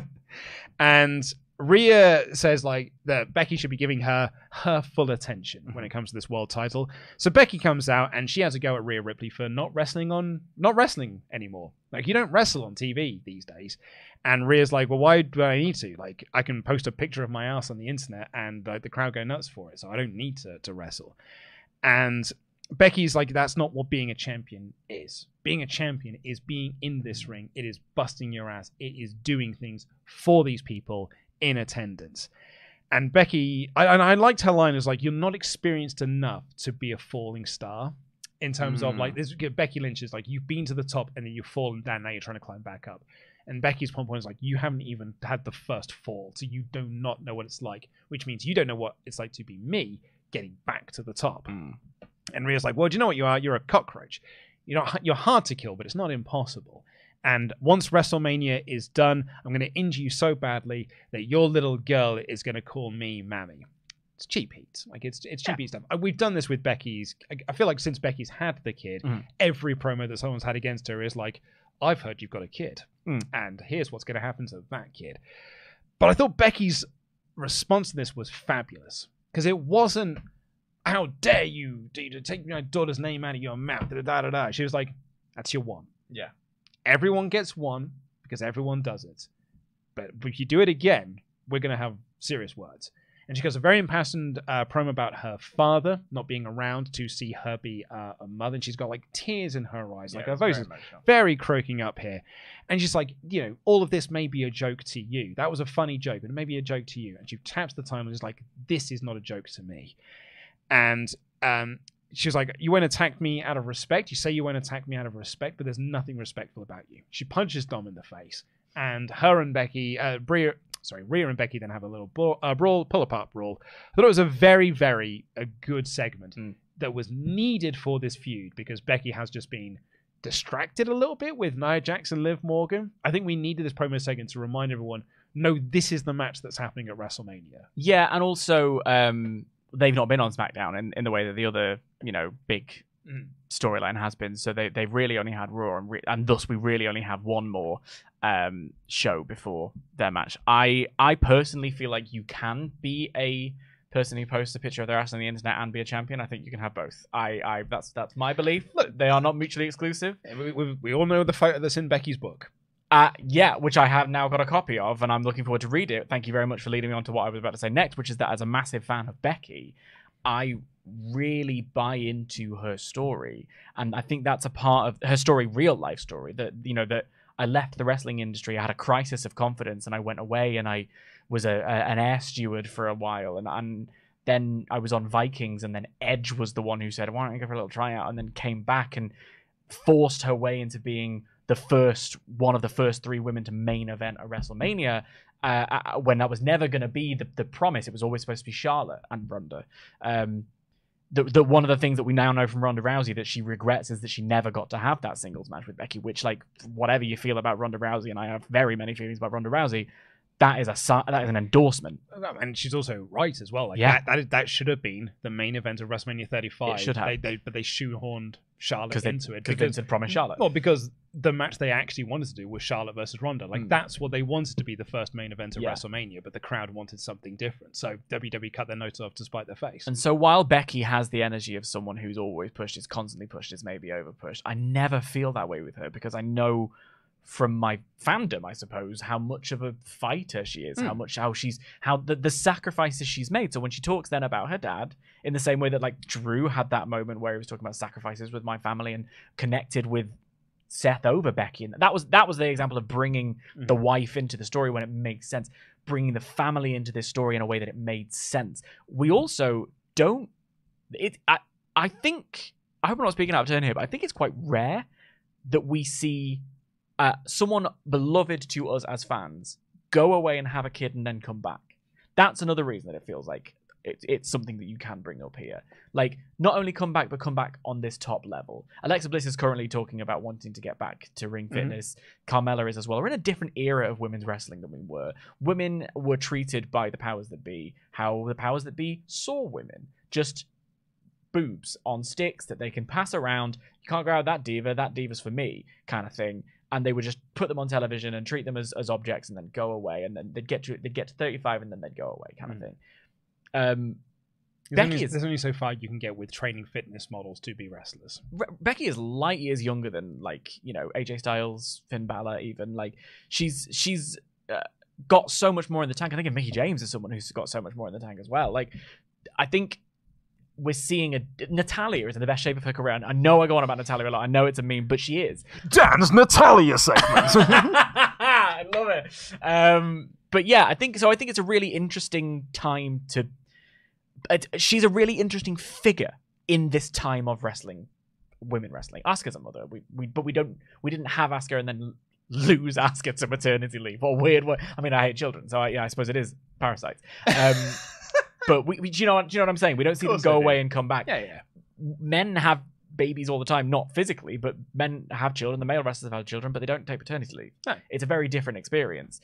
Um, because we don't get it. and also the the thing that they do with their bodies when they carry a child and have a child is unreal to me. To then get back to a level of fitness where you can throw yourself around a wrestling ring in the way that Becky Lynch has been for the past four years, unreal. So I, I thought that this is this is a prime example of again using things wisely to make more of an impact. I loved this segment. I almost wish they hadn't got come to blows. Coming to blows was great. I just wish that Rhea had run away a little bit and Becky emphasized her point by really beating down on Dom. I Yeah. wanted to see Dom get his ass handed to him. What I liked about the segment the most is it was Rhea Ripley's realization that this is not a standard wrestling feud. Because she had her one line about the kid where she's just like, and mommy will always be like, I've got to say my catchphrase. And yeah, your kid's going to call me mommy. And then Becky like responds with the way that she does. And Rhea's got this look on her face that was like, uh oh, Yeah. that's not whoopsie poopsie. That's not what this feud is. That's not what this match is. This match is about a lot more. I've got to start taking this seriously Mm. because she almost hasn't been because it, she's had this argument that Becky's not taking this seriously because Becky's she's got her mind focused on Nia Jax and Liv Yeah. Morgan and this that and the other. So I thought that was a really interesting part to this. I did too. And here's like the pretty much the last thing we get to, to talk about here. Um, but I I like the direction that we're going here. I wish this had happened three weeks ago. So what we had was Sami was walking backstage and he was chatting with Chad Gable to like build off from the the argument that they'd had last week, and he was like, you know, I want to I'm going to give you some advice. Here's some advice that you can take. And Sami's like, yeah, cool, thank you for the advice. And he's like, I, I think here as well, I would say there's one slight problem with this segment, is that it's Sami Zayn versus Bronson Reed. And Gunther had said earlier in the night, huh, I don't think Sami Zayn can beat Bronson Reed. And then they're like, man, this Bronson Reed's a tough test for Sami. And then they come up in the lower third and it's like, beat Bronson Reed two weeks ago. That's an own goal. Yeah, isn't isn't that That's though? an own goal. Like if you're trying to make this feel like it's an uphill challenge for Sami Zayn, Mm. don't put him against someone he beat two weeks ago. Mm. You know what I mean? That is mad. yeah. So I've written here. Or at the very least, don't tell us. But yeah, it's, I've literally written here. The story sort of works, but Sami did beat Bronson. Um, so Gunther comes out and he causes a distraction. He doesn't need to get physical in all of this. And Sami does find himself momentarily distracted. Mm-hmm. But then in his moment, he gets all fired up. He is all set up for the Helluva kick. And he turns to Gunther and he's like, This is you at WrestleMania. And unfortunately, that momentary distraction allowed Bronson Reed to take over, and Bronson hit the tsunami, and he got the win. Sami was in his own head. Hmm. And Sami was then freaking out backstage. He was so annoyed. And Chad comes up and he's a chat. And he's like, Look, I I know exactly what Gunther did. I know exactly what happened out there. I am to blame for this. He got into my head and I allowed him to get into my head. And Chad was like, and this is what I'm talking about. It is not just a physical game with Gunther, it is a mental game. If you cannot beat him mentally, you will not be able to beat him. I and if you're willing to change, I can help you. So we're now setting up Chad to be the trainer for Sami Zayn, hmm. which is why I wish this had happened three weeks ago. So we could have developed this. We've only got one show to develop this Sami Zayn and Chad Gable Relationship. relationship. I, if, we, if this happened three weeks ago, we could have even had a few matches where Sami is wrestling with Chad in his corner as his trainer. Or Sami's wrestling with Chad. Like Yeah. Sami Sami versus Chad in a training. in a training match, or like some video montages and things like that. Like I, I, mean, think hell, it's it's Rocky. specifically it's Rocky too.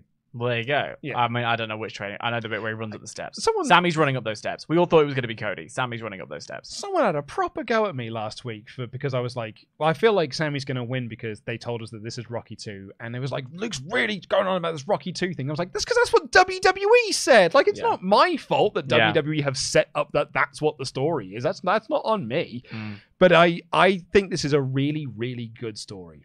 You just wish it had been sooner. I just wish it had happened sooner. I completely agree. I, I I'm so into this idea. I I almost forgot we we're only getting one week of it. I was like, oh, Yeah. we'll get a couple of weeks of this business and the training thing to get him ready for Gunther. Now, you know, there was all that talk of Stallone getting involved. In my head, he does the Mark Wahlberg thing, or the Kevin Hart thing. Has the intro bit at the beginning where he's like, "Hey, this is going to be great, everybody. It's WrestleMania in Philly." That's my slight impression. Flawless. Thank you so much. Um, this is why I didn't get to drama school. So I, I really You're an actor, right? uh, let's be honest. Um, I'm an actor in the same way that that's too shady. I'll tell you. I'll- um, the the idea of Sami like not taking. I, I okay right. Running over time. I've come around to the idea of Sami winning the belt.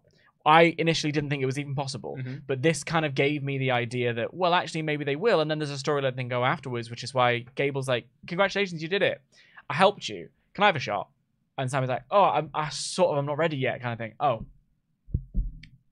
go side yourself, kind of thing. I am into whether or not that might happen. I don't know. Like Gunther might well retain, and it'd be that whole thing of I'm Gunther, I'm so great. Like I the, make sure, is that child cry? Yeah, I I can't see the Oh, screen. sorry. There's a camera Sorry, in the, the way. camera's in the way. Sorry, oh, sorry. yeah. I, sold your bit. Sorry about it. Um, We need that revenge. yeah, but the I, I I also just love the idea of um watching WrestleMania and Sami Zayn who wrestles with his heart and his throat, like he wrestles with um PWG style. You know, has these these high spot moments. Busts out a couple of Mac classics, like gives a German in the way that he doesn't does a chaos theory, has an ankle lock on, like you know, Chad Gable, who we know is this mastermind of pro wrestling, and I've seen it in matches with Gunther. I've seen it in matches with Ivar. I've seen it in matches with Akira Tozawa. Like Mhm. he's he he. There's a reason he's Coach Gable teaches Sami a few tricks. Sami is then able to get the win because of the Gable method, or it's still too much, and Sami didn't think with his head, and unfortunately Gunther got the win. The fact that I don't know the answer to that is Yeah. to its credit. Uh, well, anyway, I thought this was a, a, a perfect five out of five yeah, show. it was. I was Like, it- it was- thumbs up. incredible. Yeah. I thought this was an awesome, awesome episode of Raw. Uh, hats off to to everyone involved. Uh, and yeah, I thought it was was so so great. But anyway, we've got to have the remainder of your chats. We have a poll up in the live chat at the moment. Let us know what you thought of the show. Thumbs up, thumbs down, thumbs in the middle. Johnny All In said, "Please clarify something for me. I don't watch Raw on a regular basis. It's the fact that Priest still has the briefcase guarantee a cash in at Mania? As I was under the assumption that the holder had until then to cash in. Steinermath is the best promo. He's got until Money in the Bank. There's a year long contract. It, I think the way you're getting confused is that it used to be won at WrestleMania. Exactly, So you yeah. had a year. Yeah, so he still has time post WrestleMania, um, which, you know, hey, maybe they'll just keep weighing. Maybe he'll cash it in at Money in the Bank. Yeah. Matt Hennessy said, The show rocks. It really shows how stacked WWE is right now. You have your main eventers in Seth, Cody, Punk, Drew, Jey, uh, and Rock. And you have main event fighting talent in the IC tag title and the IC, IC and tag titles like Gunther, Zayn, Judgment Day, plus Chad and Reed are being set up as future challengers for the IC title post main Mania. Then you have a stacked tag division with established teams like New Day and Awesome Truth. Go, eh, established is a strong word for Awesome Truth. Um, plus, you have teams like DIY that has been established and are having a great run now. Like the character work and the heel work with Candice LeRae, it's really clicking. Rhea and Becky had an awesome promo, and Jade and seems motivated. Credits to the talent and Triple H. This is awesome. Mm. Victoria says, Great Raw, Ricochet the King. Love seeing my prince in action. CM Punk should have followed up on his Instagram post and kissed Cody Rhodes. Started watching AEW recently, and the big boy smooching is great. Not WWE related, but Hangman and Swerve should maybe lock lips. Hornier than I am. I mean, Um, Just a, a need quick more one. kissing in wrestling. The the uh, well, I mean, hard agree. The the Puma line they keep doing. Yeah. Do you think they know that they're making a reference or not? Oh, yes, it, it is very much intentional. I don't think Pat McAfee knows. I think, I think Michael Cole does. I gotta think. I don't think Pat's that thick. Pat, Ma- Pat, Pat McAfee made a Petey Williams reference. Well, okay, there you go. So maybe. but you didn't know who Jordynne Grace was. well, she's a woman, so you know. Sorry. Oh, it's 423, everybody. Samuel Raja here said, Afternoon, Luke and Dan. The last line of Becky's promo was, We won't be the same after our match at Mania. Does that elude a double turn? Could do. Hard to turn Becky heel after that promo. I mean, though. that's it. But that's another thing. It- He had to back up again in a way that maybe go like, oh, maybe she'll win it. And like, yeah. I, I'd kind of come around to Rhea's too hot to take the belt off her, but maybe she's not. And I do want to see a more competitive women's division. Yeah. And Rhea isn't going to give it to us. So Uh, Garrick Vaughan said, outside of the hottest topic, I feel like Shinsuke is being, tro- uh, being treated like poor Bray RIP. You go. Uh, well, cool, well-designed promos, but no wins to show for all the threats. Finally, fans coming to Philly should check out the Mark Out Club, a Philly-based wrestling group. The Mark Out Club shout out. I, I, I just shout out things and hope that they aren't uh, secretly very toxic. Uh, but yeah, and I know what you're saying there, It- and I did think that. It's like, oh well, here's Nakamura. He's not going to lose. Oh, he's not going to win, rather. Oh, a proper sneeze got caught in my, my nose there. I That's think it's gone now. That's devastating. I really Yeah. hate when that happens. Uh, Goose Egg here said, I'm feeling that Seth is the fourth most important one in the Night 1 tag match, and the third most in his world title match, which is one on one. Punk and Drew, I feel are having a better program. What do you think? Kind of, yeah. Kinda, yeah. Although I feel I really feel like he's the third most important in, in the tag match. Yeah, Roman would, Roman's gone down a peg. I would agree with that. He's third most in the tag match, and he's third most in the world title match. Space Viking said WWE successfully building to three matches not on Mania: Cody versus Rock, Punk versus Drew, and Punk versus Seth. But the thing is, and that was the other thing with Punk rattling off all those people. We've got time when his arm's better Oh, we sure have. Well, hope anyway, haven't you? because he made a glass, real glass. Cry me a river, mate. Uh, Aaron Hanrahan, look, I'm just, I, I. Here is all I'm after. I just want to see a lengthy run. yeah, me too. I, I, I, just want to see him have a lengthy run. I Hope that PC works out for him. It's just, I, I'm, I've, I've had enough of my stop-start punk. Yeah. I, I, I need full-on punk. That's what. Yeah. I, that is what I'm hopeful for. this time for next Mania. That is Yeah. what I'm hopeful for in 2024 when he comes back. Is we could just get healthy, happy punk. Yeah. we've got happy punk. Yes, I, I- you saw that in spades. Oh, I think. absolutely. I, you know, and I've, I've said this on the show before, but man, leaving AEW was the best thing that boy could have done because he looks happy and Mm. he looks healthy in of himself, arm notwithstanding. Mm. So I just want, I want a long punk run. Agreed. Aaron Hanrahan said, Sometimes you forget why you love wrestling, and then you see a show that you'll never forget, and you say, This is why. Say his name if you have the balls. Holy S, that's why CM Punk is the best. This feels like the road to WrestleMania. I'll be there. Can't wait. Kevin said, Sami is one of my favorite character workers. When we say wins and losses matter, it's not just for momentum, but also because of how winning and losing affects Sami. Uh, he makes everything he does important. He's amazing, and he has that lovable puppy face. Sami is one of my favorite character workers. Oh, that's the same thing. But yeah, I agree, Kevin. Not actually, Tesco's been in Memberg for 14 months in a row. Say, great balls of fire. What a program.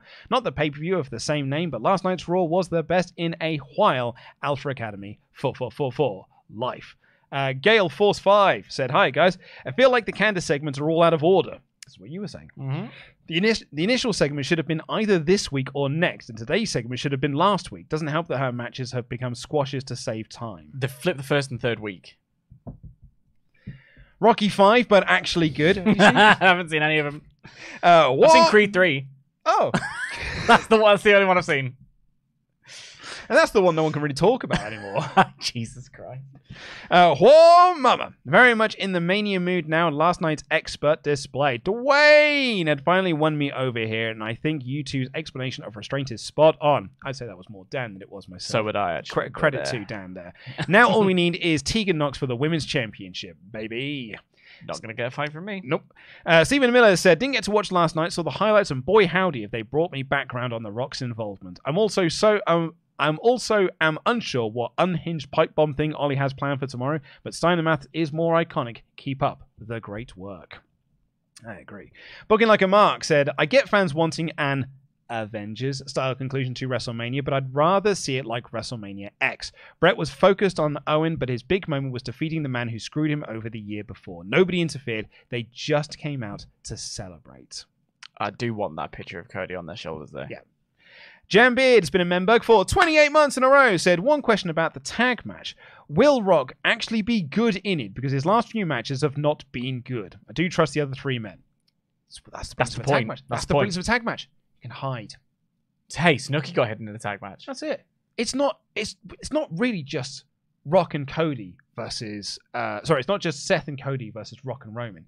It's actually Cody, Seth, and Smoke versus Rock, Roman, and Mirrors. Yes. Like that is where the magic of this match will come. Whoa. only smoke and mirrors. Uh, quote the Raven 79 said, My sister has a saying A woman ceases to be a woman once she closes her fist. I think Dom needs to be physically involved in Rhea versus Becky. The double standard that men can't attack women but women can attack men, it's kind of hypocritical. Your thoughts? Thank you, New Day, for finally saying your name is DIY, but there are two of you. That doesn't make sense. I've been saying that for years. It's, do you know what? Quote the Raven 79, you got my ultra chat of the day. It's like that line from Airheads The Lone Rangers, there's three of you. You're not exactly lone. it is a very good point. Shouldn't you be the three Rangers? And then, but I also quite like the response of like, but you're not new. You've been around for a long time. Surely that makes you the day. Like I don't. Um, uh, I, I that punch from Becky to I could do with one of those. My jaw clicks all the time. I feel like it would knock me back into shape. Um, I'd love to see. I'd love to see specifically Dominic Mysterio versus Becky Lynch. I do think that the the room is the the the winds of change are there. now that wrestling is more athletic, Mhm. I'd like to see a little bit of intergender spicing it up a little bit. Back in the day, I can understand why you wouldn't. The women wrestlers were not. They were like fitness models and whatever, and it was a lot punch kick, punch kick. I'm into a bit more. Yeah. Red Eye, Cody is slowly turning heel for me. He has three shows before Mania. If he doesn't come out and say, guys, two people have won Royal Rumbles, I'm giving the other main event to Bayley, then I'm done. Um, this is from our mod James. Uh, I 1000% agree. I'm sick to death with the bloodline hogging both nights of Mania again. Book the women as the main event too. I think this is a rare example though, where I because normally you know me, I'm on the same train, but this this is so this is so rare. Yeah, look, I, I I've said it on this podcast many times over, but and I'm going to disagree with Red Eye and with our mod James here. The hottest thing should be the main event. Yeah, Last year, the hottest thing was Sami and KO against the Usos. It's nothing against Rhea and Charlotte. That was a hotter program. yeah. The match was great. The Rhea match and was Charlotte. great. It, it was. I'd argue it's actually better than the tag match, but the tag match was the hotter thing. and it- emotional. And, it was the emotional match, and it should have been the main event. This should be the main event of the show because it is. And like it's it's a you know it's certainly something to say about Triple H's booking. Io and Bayley doesn't feel like a hot program at the anymore. moment. Yeah, It did a feels- while ago. feels real mid card. Yeah, There's something actually I, I didn't say this on the SmackDown podcast, um, but I've. Do you know one of my real tiny gripes I've currently got at the moment? Mm. uh, and this is about the disrespect to Bayley. How is Cody introduced whenever he comes out? the winner of the 2023 and 2024 Royal Rumble. How's Bayley introduced when she comes out? Couldn't tell you. Bayley. This is like from San Diego, California. Bayley. She's from San, San Jose for a start. Okay, place. from San from San Jose, California. It's the same place. From San Jose, California. They're miles apart. no, they're not. They're down the road. Um, okay, from San Jose, California. point taken though. Bayley. Yeah, Where, where's her? The Yeah. winner of the 2024 Women's Royal I do Rumble? agree. I also It's, like it's treated like a mid card. and but this is the point that I, to, it brings me back to what I was saying earlier on, which is if that's a problem, that's your fault. Of course, it is. It's You've got to do better. So Yeah. this year, this is what's supposed to be the main event. But at the moment, like with Bayley and Io as the example, there are like Seth and Drew now feels like a hotter program than that Yeah. because of Punk's involvement. Becky and Rhea feels like a hotter program than Bayley and Io. So Mhm. if they were on like either of those nights, like there's three matches that are going to Yeah. be main eventing over them. I mean, the, the, there's also the idea of the opening match is just as, as important, but when you've got four titles and four main events in theory, also like last year was a, t- a tag match main event in WrestleMania for the tag Yeah. titles. Wow, wild! I, there, there is there is just something of ultimately it comes back to who is given the opportunities, and and I, I I agree wholeheartedly that the best story, the most emotional story, should be the main event. I also believe wholeheartedly that um, opportunity. Uh, is only there for the taking if you're given the chance to take it. Absolutely, yeah. Roach Senpai said, Kayfabe aside, if your boss gets physical with you, doesn't that call for a legal investi- intervention with your supervisor? Um, with you, uh, if uh, the, your supervisor fought with you and the one that slapped you first with the millions and millions of witnesses? Oh, it's pro wrestling. Yeah, think about it. That's the joy. I mean, otherwise the, the police would be involved. Patrick Eddy said, Hey guys, Luke, I'm the person who sent you the cameo about a punk heel turn. Just wanted to say that I've never been in the camp of people being upset at Punk for returning, but when I see him uh, see him with that WWE Cubs belt backstage, I did say, What a sell. yeah, yeah, he, it did look like uh, the, corporate punk. yeah, the Make a Wish kid who got invited to Yeah. uh, to an episode of Raw. Here's a belt for you, pal. Um, Pika Pig said, "Hello, WrestleTalk. Hope you guys have been having a great day. Glad to be listening to you guys on mine and Pete's birthday. Also, believe in you, Luke. You can win the Monday Night War." Um, apparently, we, we got Patreon shoutouts? Apparently so. Yeah. Oh, I'm so sorry. I, I did actually go and check, um, but I, uh, I I clearly was read the dates wrong. Yeah. My apologies. We'll do Patreon shoutouts in a little bit. But first, Swifty Whiskey has donated a hundred dollars. Thank you so much.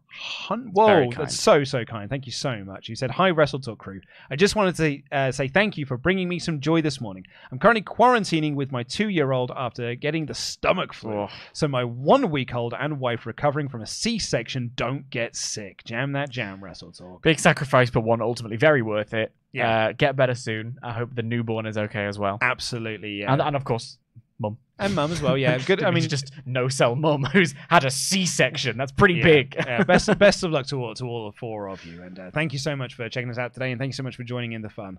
Uh, Brian here says, per Ollie, I reached out a couple of weeks ago to support about references for anthropological research, and I'm worried my emails are being filtered as spam because I haven't had anything back. Is there another route to connect about this? It'll be just be in Ollie's long list of things that he needs to do for the day, so don't worry. He will have been sent it.